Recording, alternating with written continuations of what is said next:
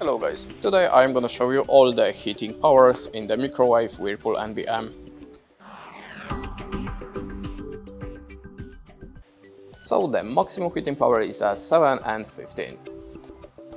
The next one is a 0, the 160, 350, 500 and again the max power. That's it. Thanks for watching, leave us a like or a comment and goodbye.